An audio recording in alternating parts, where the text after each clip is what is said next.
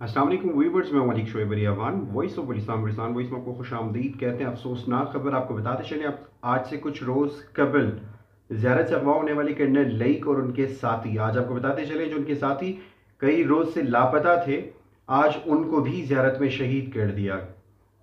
हमारे ही चैनल पे उनके अपने छोटे भाई ने इस बात की तस्दीक की है, जो अपनी स्क्रीन पे देख सकते हैं। आपको बताते चले, लेफ्टिनेंट कर्नल लईक, जो कि गुजशत रोज़ ज़्यारत से अगवा हुए थे और उनके साथ एक साथी भी थे ज़्यारत से अगवा होने वाले कर्नल लई को अब से कुछ रोज़ कबल ही शहीद कर दिया गया था और जो उनके साथी लापता थे, उनको आज ज़्यारत में ही शहीद कर दिया गया।